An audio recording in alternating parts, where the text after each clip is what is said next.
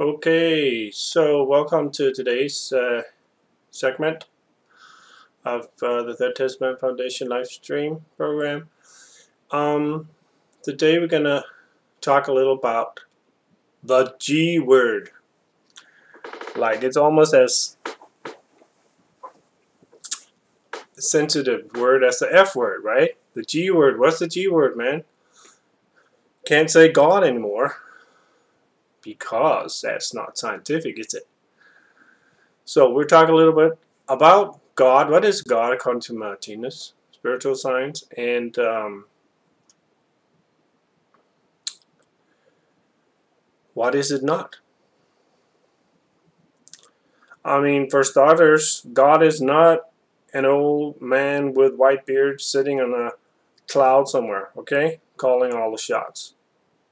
So uh, we'll talk a little bit about this G word, what is it, and why are we so scared of using the G word, and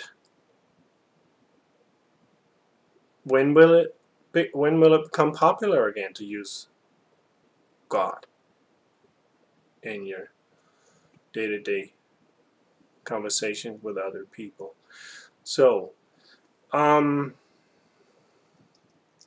and Martinus has a very clear and concise explanation to this.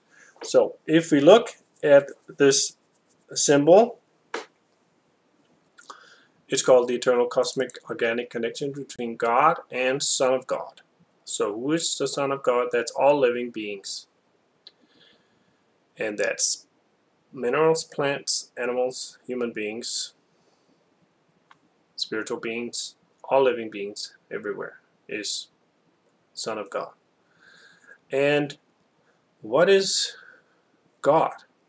Well, to Martinus, God is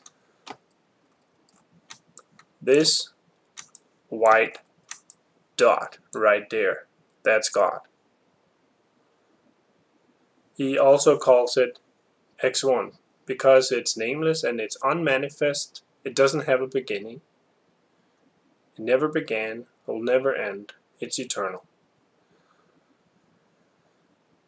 So, you basically cannot say anything about what God is. I mean, if you say that X1 is God, then it's already wrong, right? So, because it's nameless in its nature. So,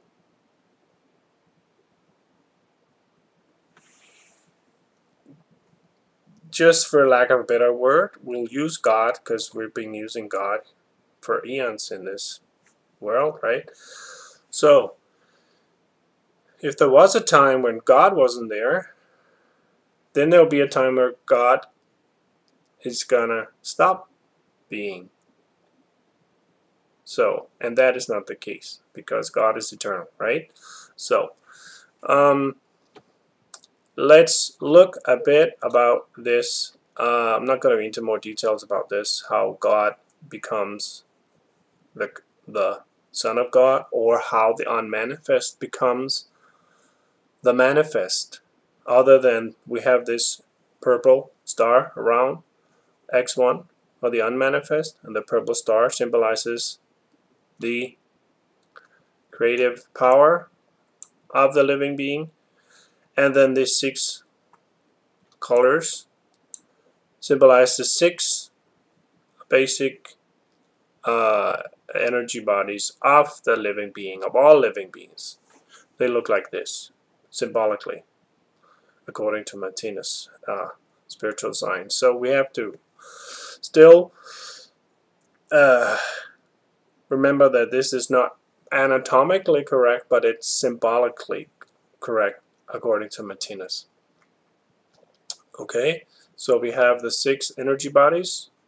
Again, the memory body, instinct body, gravity body, feeling body, intelligence body, and intuition body, which are manifest bodies. So these manifest bodies we call X3 and they have a beginning and they have an end. Okay? And that's what makes evolution go forward because we keep having a, a satiation for something and then we keep satisfying that satiation or hunger and then when we're uh, satisfied when we have satisfied satisfied the hunger we uh, uh, are repelled by it right? And then we are hungry for something else. And that is in the world of form or x3 in the temporal world not the eternal world. Because the eternal world is forever right? No beginning and no end. Hunger and satiation has a beginning and an end. So uh, enough said about that. We can see also that the uh, you see the white ring? Is also x1 of the unmanifest aka God.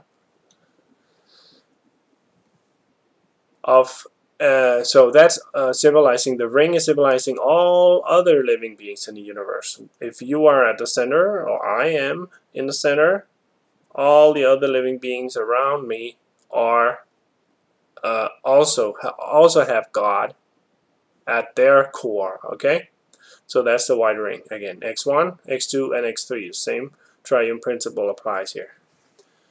So what we're going to talk about today is because we at all times in the evolutionary spiral cycle are at one with God. At the core of our being is our I is our God I. We're all at one with God. It's the same I we all share. And that is this eternal, unmanifest something that is. A nameless something. Martinus calls it X1. Okay, and that's the white. Because we cannot exist without being or having X1 at our core eternally. There'll, there will never be a time where we're not at one with God at our core. But according to where we are in evolution, at different uh, stages in evolution, we perceive or experience this at one with God differently. We don't, we're not conscious that we're at one with God at all times.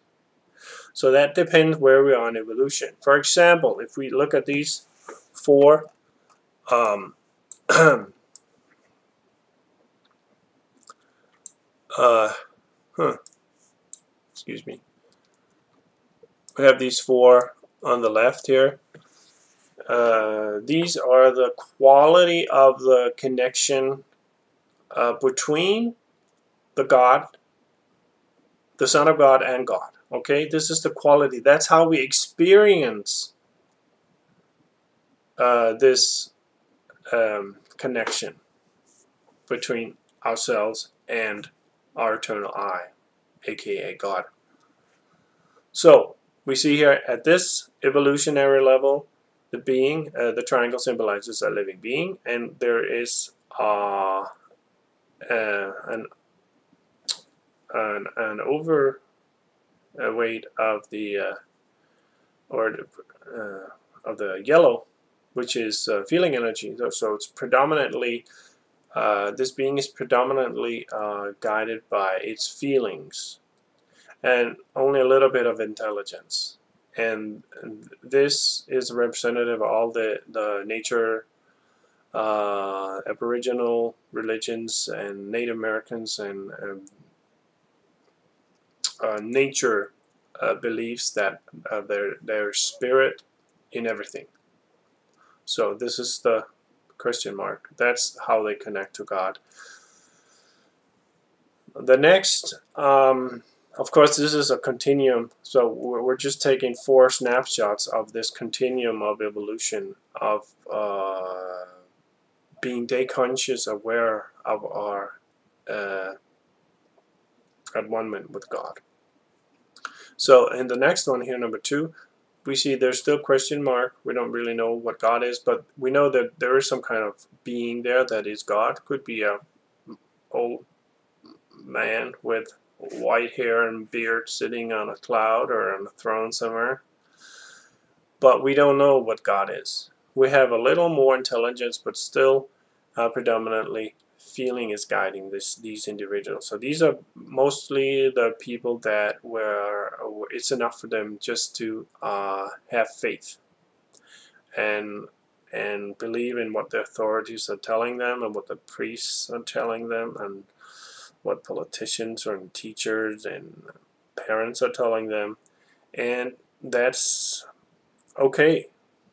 They're okay with that. They don't question authority they don't investigate the truth or the deeper truth of the, what authorities are telling them. So these that's that's for them it's enough to believe. And at a certain time we evolve out of that. We get fed up or satiated with it. We're no longer hungry for just believing. We want to know what's uh, going on. What is the unhidden truth or the cause and effect behind these authorities and their statements and so forth right so we uh, evolve uh, out of uh, the religious uh, context which means that we do not use the G word anymore. We become atheists and scientists, and everything has to be based on uh, evidence and research and so forth, right? So we have our materialistic era that we, we know so well today. And this era has given us a lot of, of good things, right? natural sciences. So, but we see the being here is guided by uh, predominantly intelligence energy green and not so much feeling energy. So there's still an unbalance. Now over uh, yeah. So this head and skull just means that the beings here believe only in the one life that when we die that's it. There's no more. Eternity does not exist there's only this one life and then when you die, you're gone. So they believe in death. They believe, atheists believe in the uh, non-existence of God. There are actually there are actually uh, atheist uh, churches in America that celebrate the uh, on Sunday they have social events and they they celebrate the non-existence of God but now there are these different branches of the atheist churches they're starting to tell each other well the way you're worshiping the non-existence of God is not the right way to worship the non-existence of God. You know you should do it this way. So there's still an element of belief and religion in this um, uh, this evolutionary stage yeah and why is that? Well, that is because when you have, for example, a hypothesis or a, a theory and so forth, it's only probable, right? It's probabilities. You don't know for a fact. It's just a theory. So it's still basically a belief. You, believe in something, but it's you back it up with science, and it's more or less probable.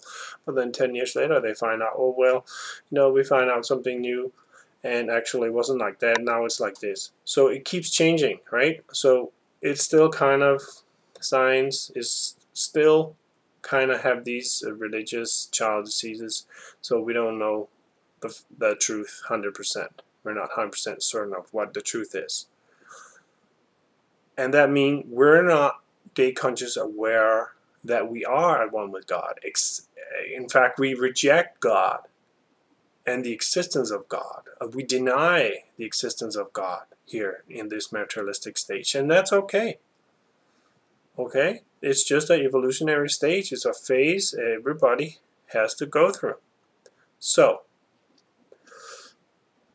in this last evolutionary stage where we actually are um, day conscious aware that we and God or our eternal identity is uh, the same. Our I and the I of God is the same. God's source and me are the same. My I and your I, your eternal I and my eternal I, are sourced in the same something that is, right? Nameless, unmanifest, eternal life force.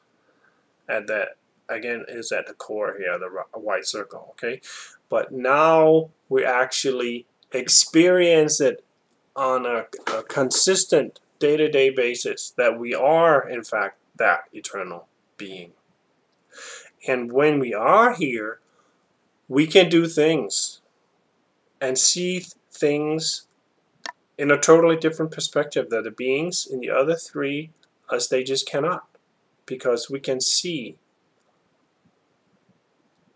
the real cause and effect of things and why things happen and what we should do to make uh, to certain things that are not so good disappear and so forth. So what would imagine what would happen if we had these beings here and these are rare beings, right? Because they're very highly evolved. What we happen? What would happen if we had these beings at the at the at least some beings, at least one in each government of all the nations in the world. If we had one being like that, that could see the real connection of things and could advise the government of the world, where do you think we would be? You know, that would be interesting, I would say. So, um, uh, let's just read about these beings here in the stage, because uh, Martinus writes about it in um,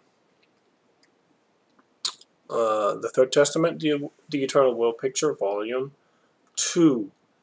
Uh, and uh, before that, I found something about praying to God Uh, and how Martinus defines this. And he says, praying to God, there is thus an organ in the being that begins working automatically when its life is in danger. It is this organ or ability that gradually evolves to become what we call the ability of the human being to pray to God. Prayer or praying to God is thus not rooted in any human invention, but in an innate cosmic organic ability through which the being is eternally and organically connected to the Godhead. Whether or not the being is conscious or unconscious of this unshakable cosmic connection with the Godhead does not alter the principle at all. Uh, the animal that utters its cry of terror or cry of death is not conscious of any Godhead. It does not know to whom it cries, but nonetheless it cries out automatically about its distressed situation to an unknown object. So this is uh, Martinus talking about what prayer is. It's actually like I was when I read this, I thought about you know when you see these these movies where oh the plane is gonna uh, start to crash and you're sitting in the plane and all the people start to pray, even the ones that don't really believe in God, right? Really, all the atheists and the materialists in the third phase, they're still okay. And Martinus says, well, it doesn't matter if you believe in God or not, prayer works. So, and it's this uh, triggered by this situation. Oh, I'm gonna die, right? So you, this is like the he calls it the cry. Uh, what is it? He calls it the cry of death or cry of cry of death. Yeah, the cry of terror. When you're terrified, you're like, oh, that cry. In the animal, they go like ah, all, automatically. This is automatic organ that we have that once we like threaten with like faced with death automatically we'll begin to do something and that is prayer. Okay. So uh, let's go back to uh, that was just a little uh, parenthesis here.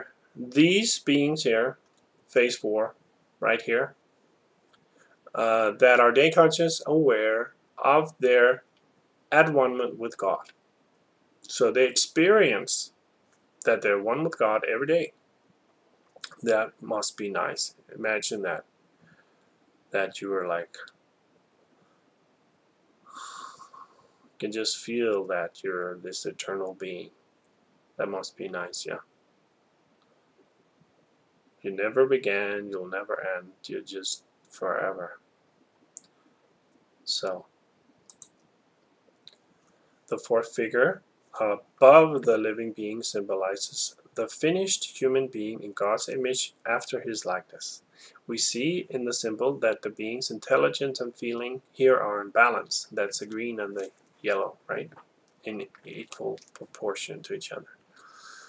They are equal and penetrate one another. So that's the, the green and the yellow in the actual cone there, which symbolizes the connection, the, the, the conscious, uh, the experience of the connection. So feeling has thus become intellectualized. And when intellectualized, Martinus means it's a combination of intelligence and intuition energy. So, feeling has thus become intellectualized and intelligence has become humanized. This in turn means that both faculties are now totally in the service of neighborly love in this being. So this is compassion, yeah? It now fulfills the law of life. It loves God above all things and its neighbor as itself. That's the law of life. Like do unto others uh, like you want others do to you. It has become a cosmically conscious human being, a Christ, a, a Christ being, a being that is one with God. I mean, we're always one with God, but now at this phase in evolution, we're uh, consciously aware of it. We're day consciously aware that we are, in fact, one with God, or are this eternal I that we are.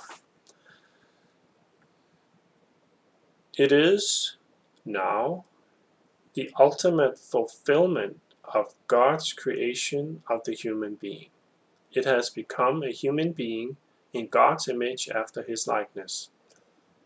That just means that it's also eternal. No beginning, no end.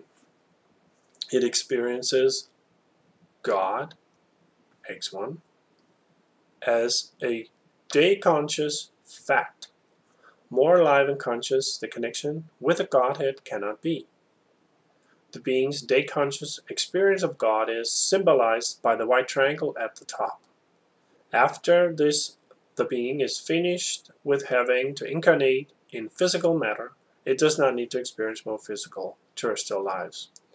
It is through the beings in the primary consciousness of God that he reveals his infinite wisdom, his universal love, and his omnipotence. So it's through these beings that are now day conscious aware uh, that there are eternal beings, that God, God source, reveals its infinite wisdom.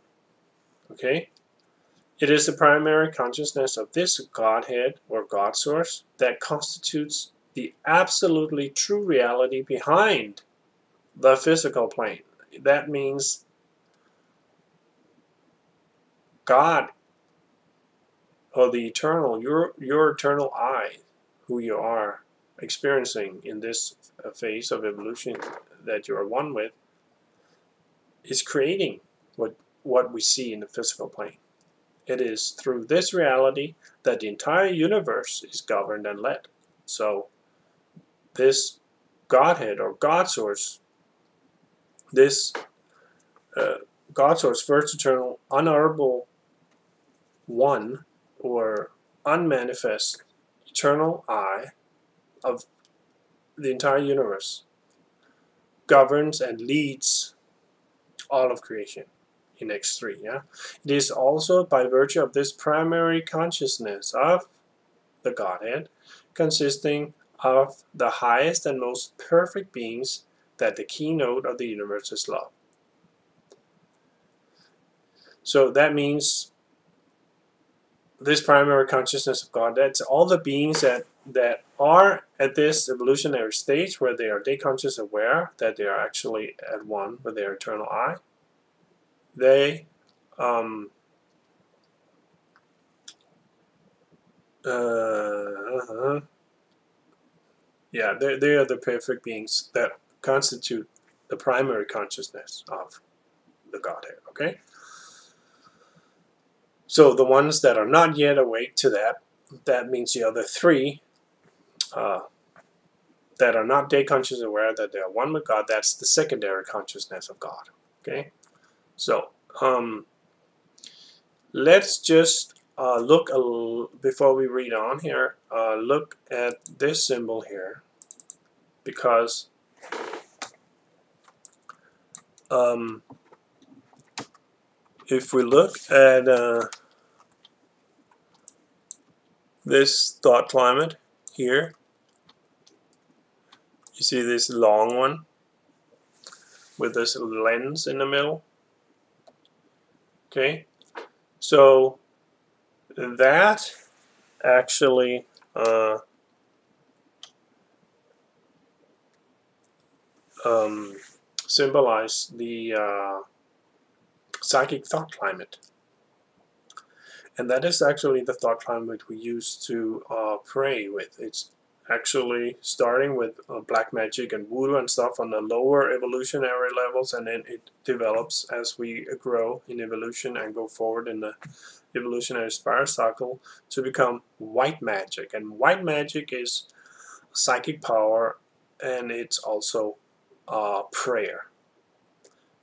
So if we uh, read about this thought climate Martinus uh, says that this figure symbolizes all high psychic forces and culminates in the period of evolution number 30. So that's just, here's 30, right? So this one here is the 30.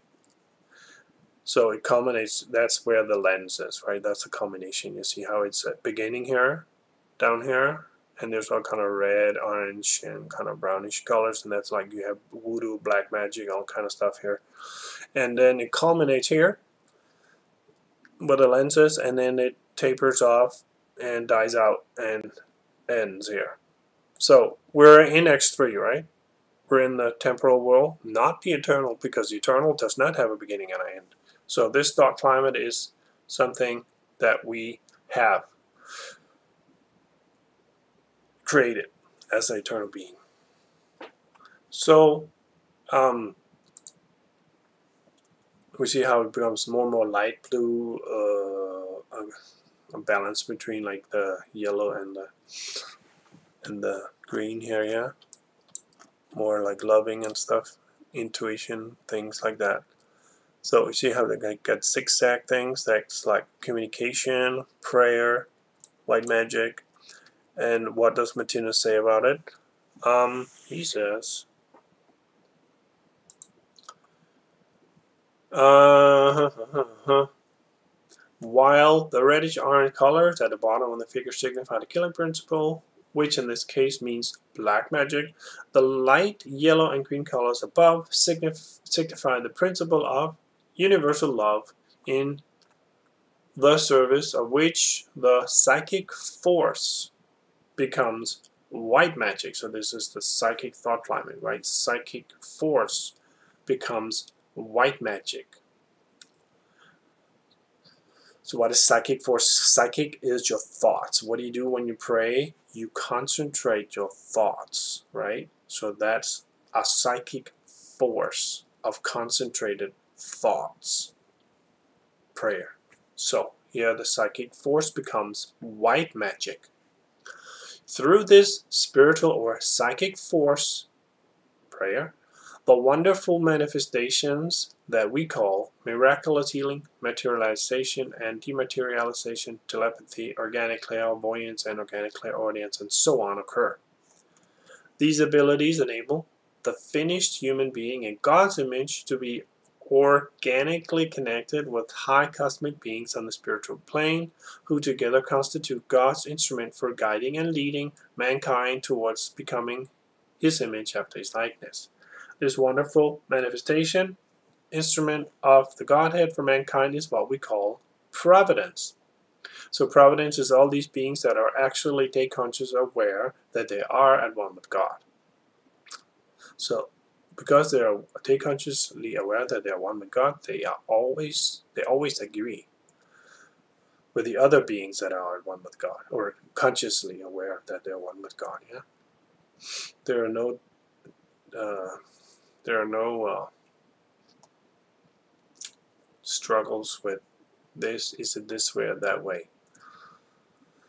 Disputes and stuff. So these beings thus constitute the Godhead's organ for interaction.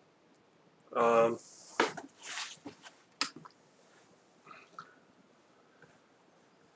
the Godhead's organ. So these beings are the Godhead's organ for interaction with every single terrestrial human being.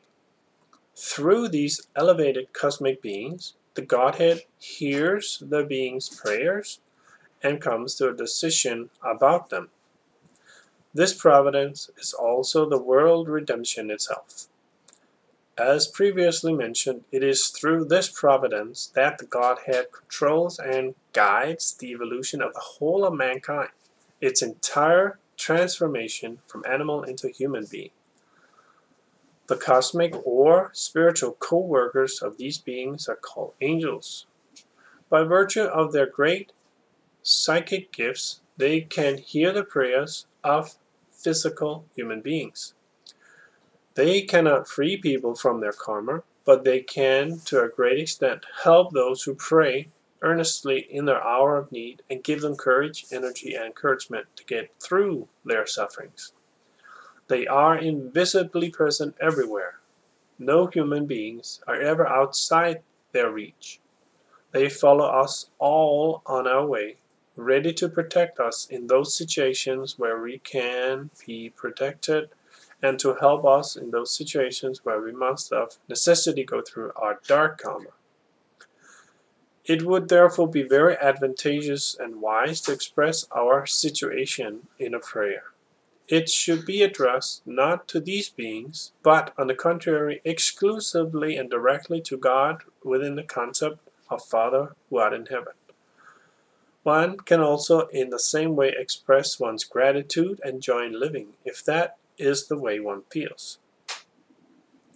Even though one is unable to believe in prayer, one ought to pray all the same. God is not so small-minded that he does not listen unconditionally to the prayer of an unhappy being.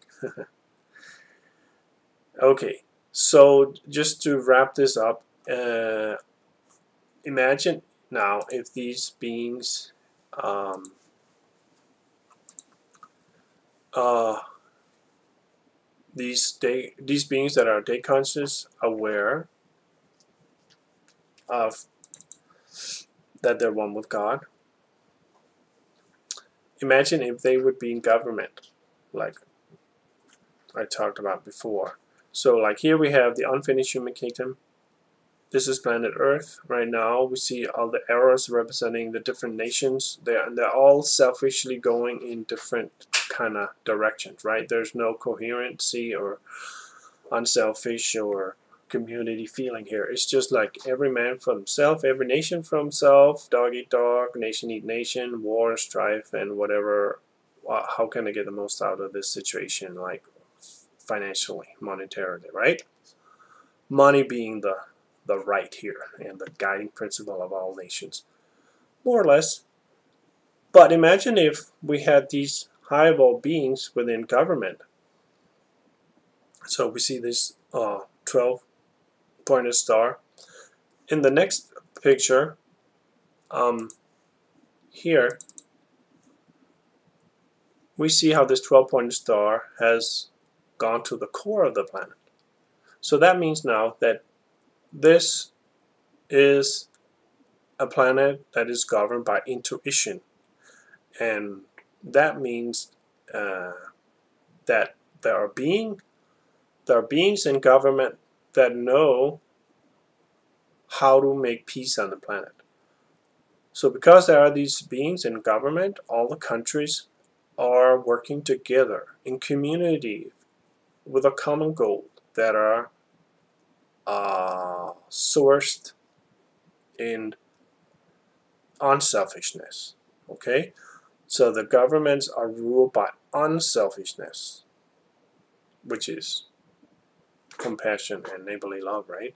So, and and that is, uh, I I believe that the beings we need beings that are at this high evolutionary stage where they're actually conscious that they're at one with God, so they know what's the truth and what course to take for each country in order to uh, all countries to to coexist in harmony with each other okay?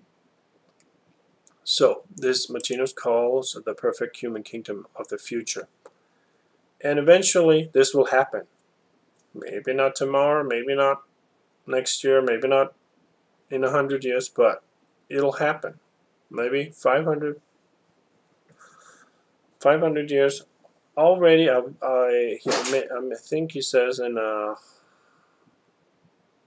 hundred years when he was alive, hundred years the countries will start to uh, have uh, Christic policies in their governments. So we can see that some countries are more more um, taking care of their citizens than others. So we are seeing this principle of unselfishness in the whole governmental structure, societal structure, gradually grow in in uh, all the countries at different uh, at different rates, of course. So, um, heaven on earth. This is a symbolic expression of heaven on earth. And what does Martinus actually say about uh, this? so this is from the Third Testament, Volume 1 where he talks about the right and the might of the governments and the states. So, the present collective experience of the whole of terrestrial mankind will thus gradually bring all its concentration to bear on this factor the unification of might with right. So, might is power, right? And right is the truth. I mean, that these high evolved beings that know that uh, they consciously aware with God can see what is right. We, we cannot always, uh, if, if you're not day consciously aware that you are at one with God, uh, you cannot uh, see. There's no guarantee that you can see what is right. Okay? So that's why we need these beings within government as advisors or some some kind of thing. And it's not like they want to have power or anything. Actually, they don't. That's the least thing they want. But they know what's right, and we need to combine that right, righteousness, justice, with the might, with the the where the money goes. Okay, the money needs to go to the right places where it's righteous that they go. So. Okay. Uh, the present collective experience of the whole of terrestrial mankind will thus gradually bring all its concentration to bear on this factor, unification of mind with right. So this is where we're going gradually. It's inevitable. But as right within terrestrial mankind's community is the same as state power and this is the uncorrupted state power, okay? And might within that community is the same as money power. The unification of right with might means that state power must have possession of the money power. Okay, so this is where the whole thing with sovereign money comes in, and uh, the central bank should not make the money because they're privately uh, uh, held banks, but we need the states to make the money. Okay, state power must have possession of the money power. Okay, so and this is the uncorrupted state. This is not the state that has been lobbied by multinationals and and controlled by money. Okay, this is the uncorrupted state power. So the state power that knows what is right. Okay? Only right alone can possess the valuable goods because the beings that knows what is right, the beings that know what is right, they can appropriate the goods righteously instead of uh, totally out of proportion with few percent of the people on the planet owns like 80% of the might, okay, the money. So as right is represented by state power, uncorrupted state power, and this again stands for common interest or unselfishness, while money power is the expression for private interest or selfishness. So that's easy, yeah? State power, unselfishness, money power, selfishness. Then the consequence will be that unselfishness appropriates might or the valuable goods. When the spirit of unselfishness controls the valuable goods and thereby has the power, only then can peace reign. Selfishness, controlling might, as is still the case in the terrestrial community, right, today, that's what we see in the world, can create only that spirit which makes one strife into actualities. The spirit of right must therefore be made the ruler of the world. Right, which has now reached its highest manifestation in the form of state power, uncorrupted state power, constitutes nothing more than a reality which is ruled by might. Okay, that and let me do that again because he talks about how the state power is not uncorrupt. So right, which has now reached its highest manifestation in the form of state power, constitutes nothing more than a reality which is ruled by might. Okay, so this is what we have today. We have governments that with a whole slew of lobbyists, multinationals that are represent represent the might, the money power, right? It must become a reality which rules might. So, the state power must become a reality which rules might. That is, state power, uncorrupted state power, must become a reality that has the money and controls the money. So then we'll look like this. And then there will be peace and harmony, and this is the peace, the new world, where peace and harmony prosper. Okay? And we're going there. It's inevitable that we'll be there. It's just a matter of when. So on that note, I say thank you for today and uh, hope to see you next time uh, in a week and uh, see you soon.